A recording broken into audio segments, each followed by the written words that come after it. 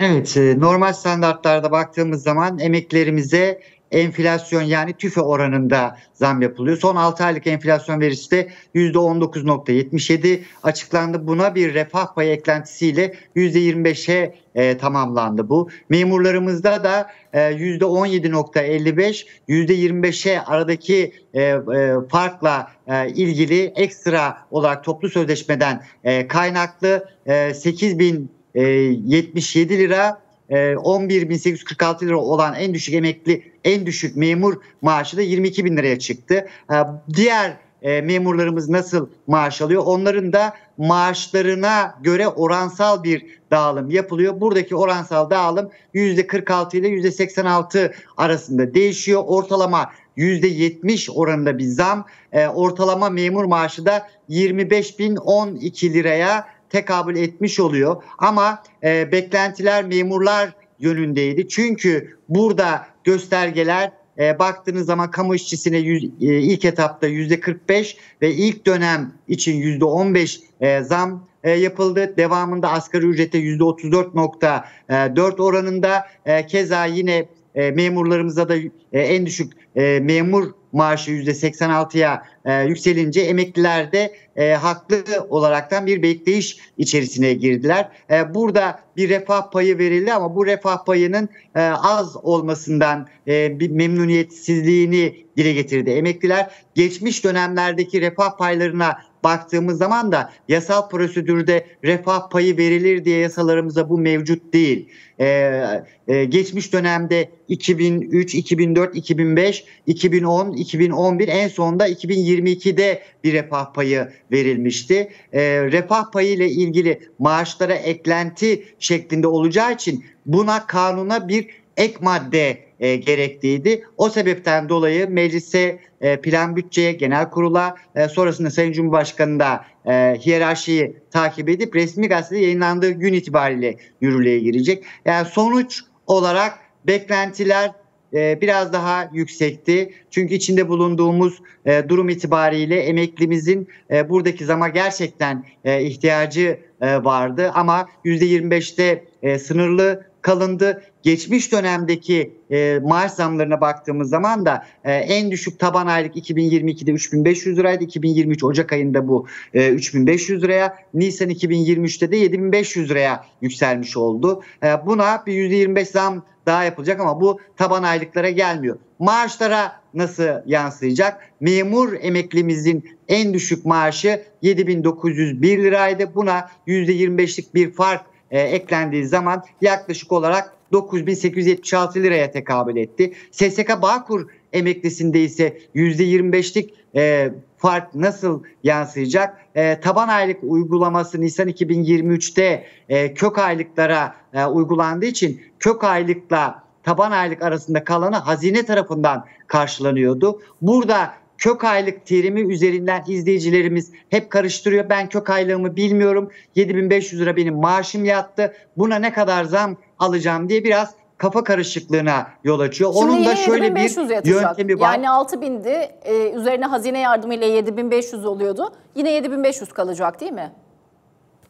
Tabii 6000 ve altında olanlar 6000 e, ile 7500 e, arasındaki kısmı hazineden karşılanıyor. 7500'de kalıyor. Fakat kök aylığı e, 6050 lira olan e, 7562 lira %25 oranında artış oldu. 6500 lira alan kök aile 8125 lira, 7000 lira kök aile olan 8750 lira, 7500 lira kök aile olan da 9375 liraya böyle yüzdelik dilimlerde e, oransal bazda ilerliyor. Fakat vatandaşlarımız, emeklimiz kök aylığını bilmiyor.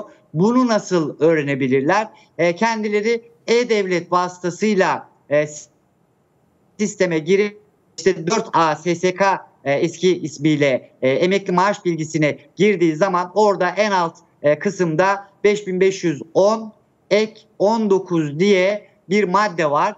Bunun karşısında yazan rakam direkt hazine tarafından verilen desteği gösteriyor. Sizin örnek veriyorum Haziran ayındaki maaşınızdan oradaki ek 19'daki yazan rakamı çıkardığınız zaman kök aylığını bulmuş oluyorsunuz. Bunun %25'ini hesapladığınız zaman herkes 7500 liranın altında mı yoksa üstünde mi olacağını basit bir formülizasyonla hesaplayabilirler. Şimdi bir kez daha tekrarlayalım mı? Ee, e, nasıl öğrenecekler kök ücretlerini? Burada hep bir kafa karışıklığı var. Bize de çoğu zaman soruyorlar işte ben nasıl anlayacağım kök ücret nedir?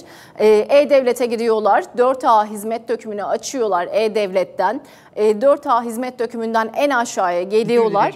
E, ve orada verilen e, ek desteğe mi bakacaklar? Kendi son aldıkları maaştan o ek desteği çıkardıkları zaman o ortaya çıkan %25 zam oranını mı oluşturuyor? Ee, E-Devlet'e giriyor emeklimiz devamında da 4A emekli ödeme bilgisi. Orada yük sağda yukarıda mercek kısmı var. E, emekli ödeme bilgisi yazınca sistem size direkt e, en üste atıyor. İlgili linki tıkladığınız zaman sizin almış olduğunuz maaş sayfasına yönlendiriyor.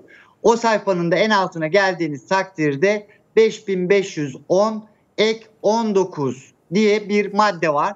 O maddenin karşısındaki rakam direkt hazine tarafından verilen desteği gösteriyor. Oradaki rakamı bir kağıda not alıyoruz. Sizin e, maaşınızdan e, reel maaşınızdan buradaki rakam yani banka yatan maaşınızdan buradaki rakamı çıkardığınız takdirde sizin kök aylığınız ortaya çıkmış oluyor.